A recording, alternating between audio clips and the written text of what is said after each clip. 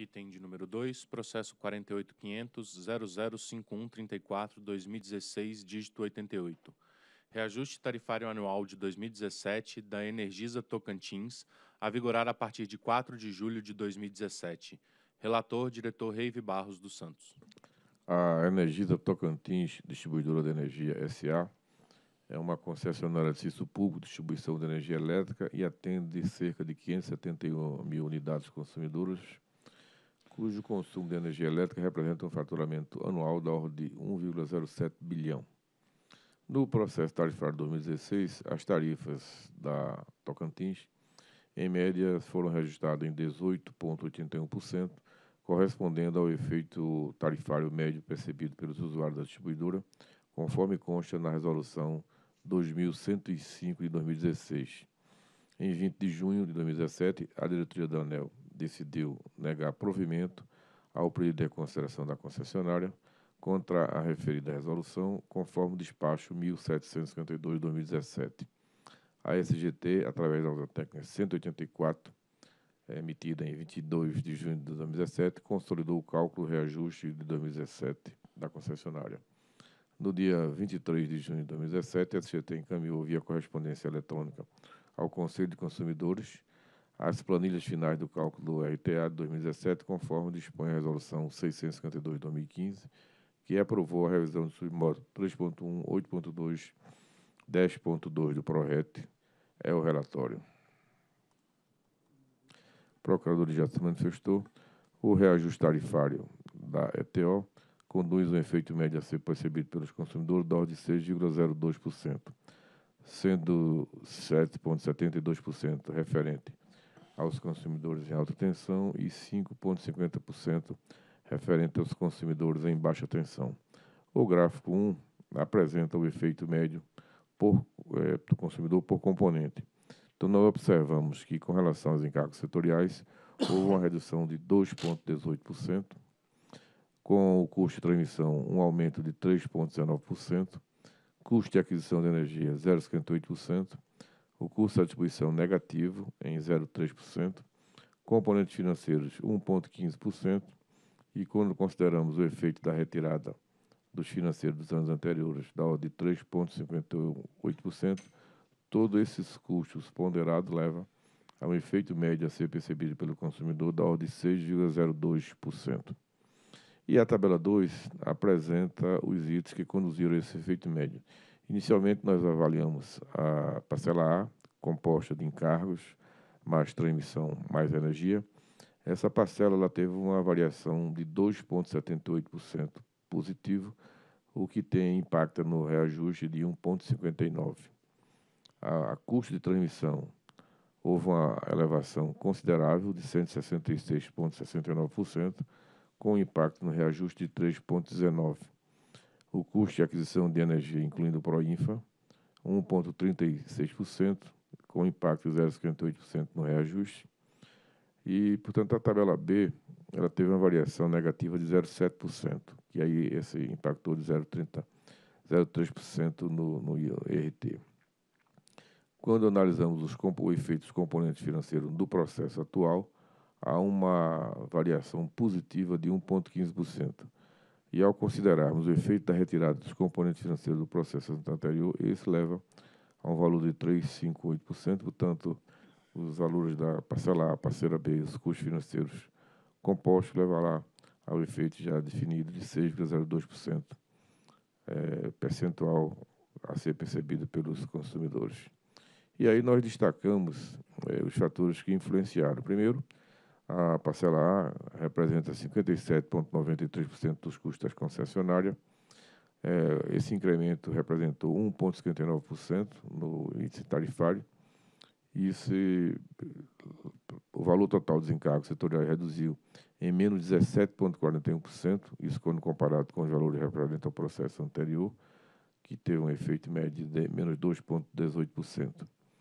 É, destacamos aí principalmente o encargo da CDE contra a CR, que corresponde à variação do efeito médio de menos 69% no atual reajuste, bem como a redução da energia em função da retirada da previsão de receita fixa de Angra 3. o qual migrou, é, integrou o, o encargo em 2016. O valor dos custos da transmissão teve uma variação de 166,69%. É, isso teve um impacto no efeito no médio no IRT de 3,19%.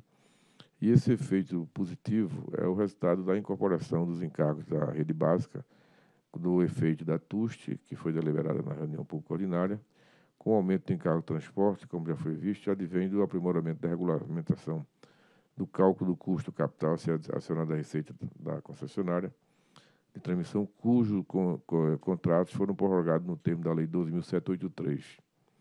É, o custo da compra de energia sofreu uma variação de 1,3%, e o gráfico 2 apresenta a, o efeito da modalidade por aquisição de energia. Então, nós temos aí todos os é, contratos com a concessionária, que levou a um valor total de 0,58%.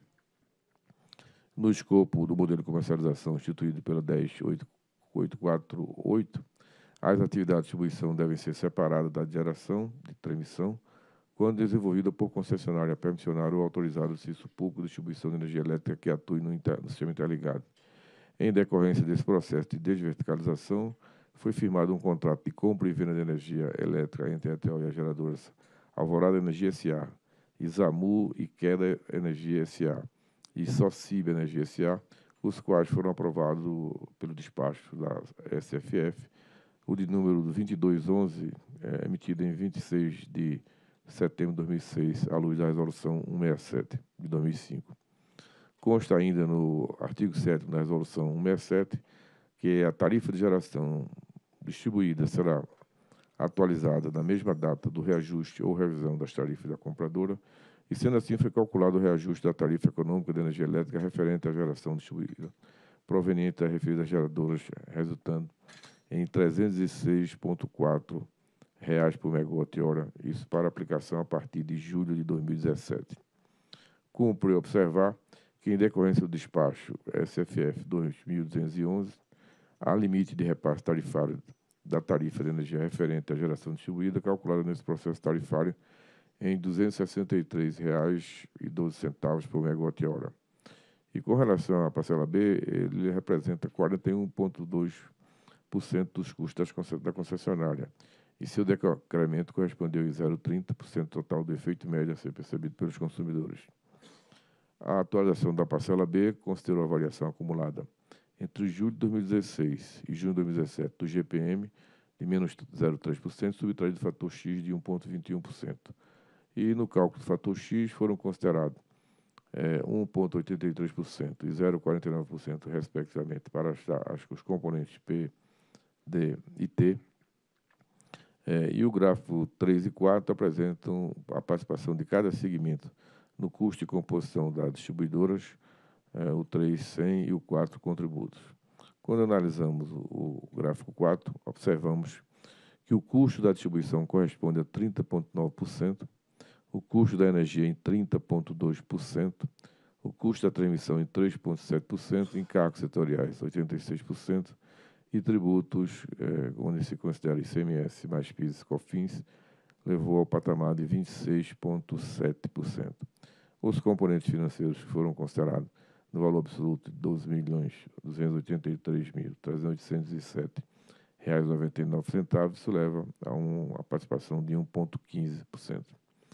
A SGT também apresenta um gráfico com a variação, a evolução da tarifa B residencial da concessionária, considerando o período de julho de 2007 a julho de 2017.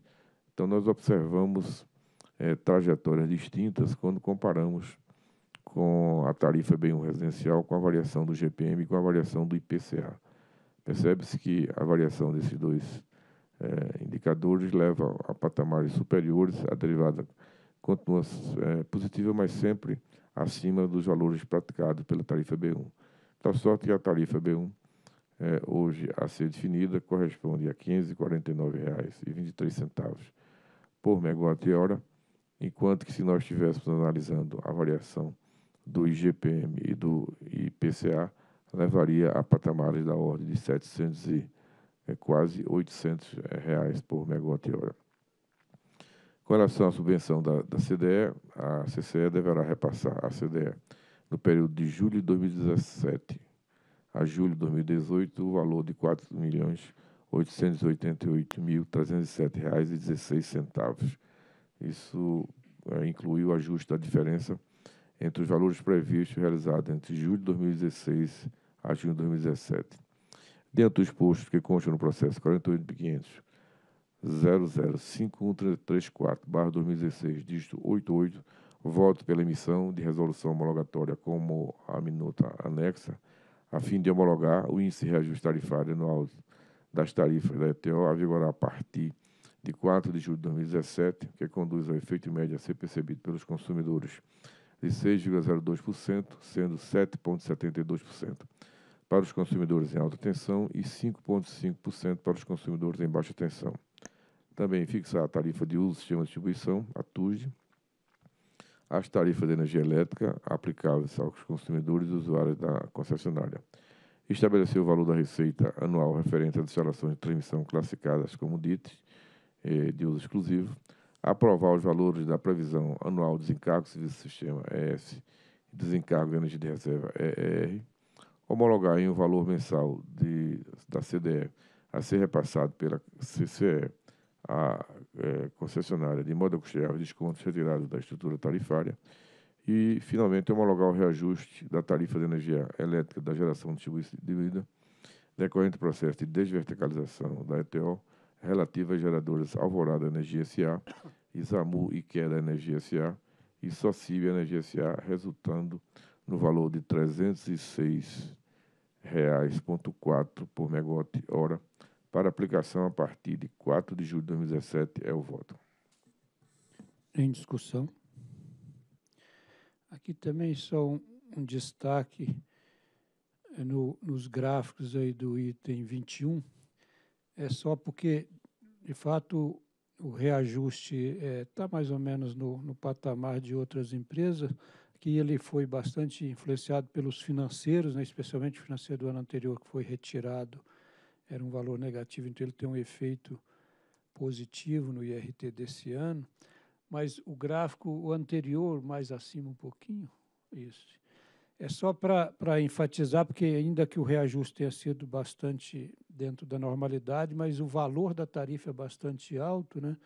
mas é pela característica da área de concessão, né? pela pouca densidade de carga, né? muito investimento para atender pouca carga, e o gráfico mostra isso, né? Certamente aqui no caso da Energisa Tocantins, a participação da chamada custo distribuição ou parcela B proporcionalmente é bem maior do, do que outras empresas, porque exatamente exige mais investimento para atender uma carga proporcionalmente menor. Né? Então é só para chamar a atenção de que o valor da tarifa de fato é uma das mais altas, mas é é, em função da característica da área de concessão, porque o processo tarifário é assim, né? Cada o equilíbrio se dá na área de concessão das respectivas é, empresas, né? Então é, é essa condição, vamos dizer assim, do mercado da empresa é que determina essa tarifa, ainda que olhando o comportamento como destacou o Dr. Reive,